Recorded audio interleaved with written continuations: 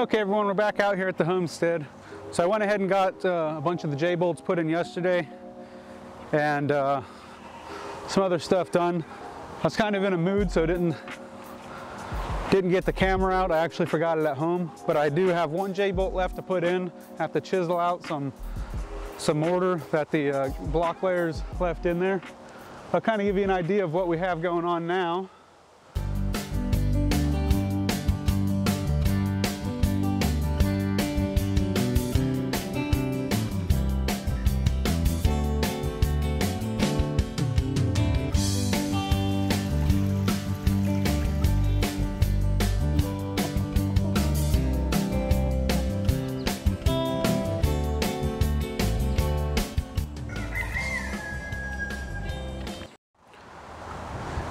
So you can see I have J-bolts that I put in. The mortar is a little bit different color than the other, but no big deal. This board I didn't have to do any. I'm just going around, make sure nothing moved overnight. See, I put that one all the way at the end. That way if I have to make any corrections, I can do it. But uh, so far everything looks good. So my plan today was to come in and go ahead and get the holes drilled for the J-bolts that I put in yesterday.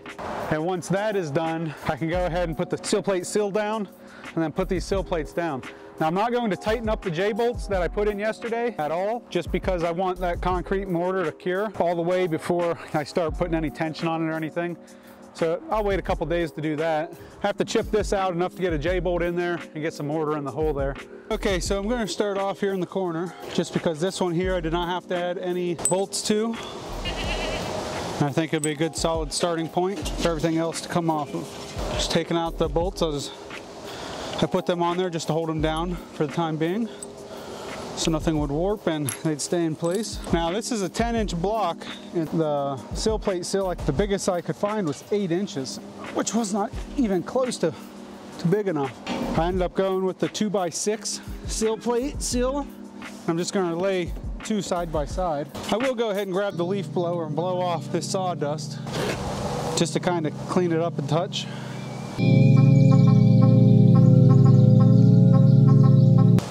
Good leaf blower, Milwaukee. Left it out last night and it stormed all night long. Same battery, literally just picked it up for the first time today. Don't know how, I forgot that it was out yesterday, but there we go.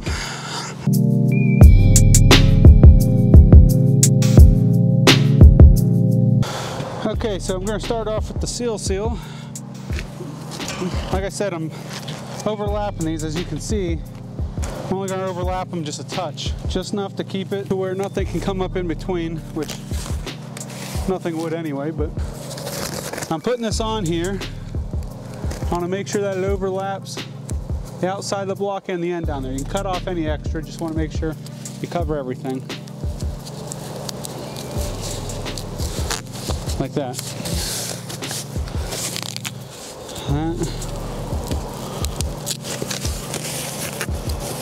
Now whenever we set the other one up there, it'll overlap it and still come out and meet the edge. Now this one is literally not gonna have much, nothing holding it until we put the board on.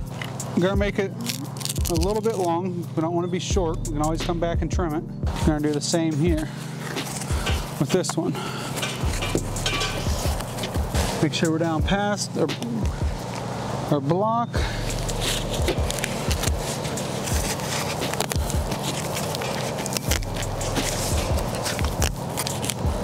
And then all the way down here.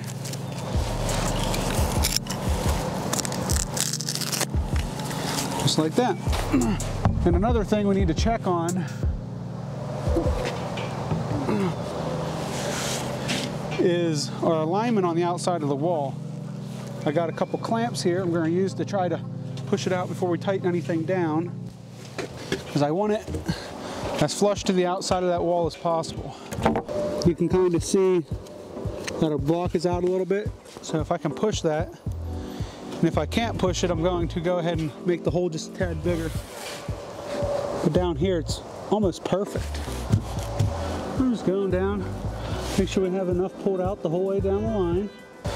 And there we go. I'm only gonna put these two on for now because I still want to be able to lift that end up to get foam under that. And I just want to make sure that I'm flush on the outside there. Then let's go ahead and snug it up. Now I'm not gonna over compress this wood just where I have a little dimple, about half the washers set into that wood. Then we'll move down to the end to get the foam started on that one. And I'm just gonna put the hammer, attempt to put the hammer under there like that.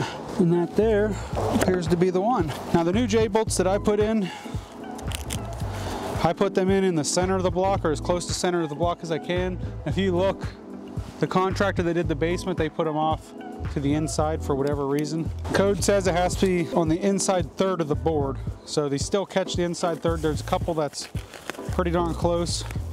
I don't know why you just wouldn't put it smack dab in the middle, but make sure everything's good. But that's beyond me. That goes like that. That's all tucked nice.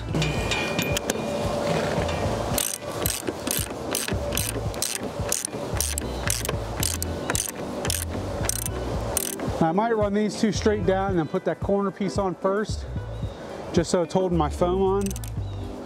We'll see how it works, works out. Okay, that one's on. I'm not gonna show you the whole way around We'll kind of speed up the process, but I wanted to give you an idea step for step on how I'm doing these ones. So there we go. That's one board complete on this puzzle. So we're just gonna do that the whole way around.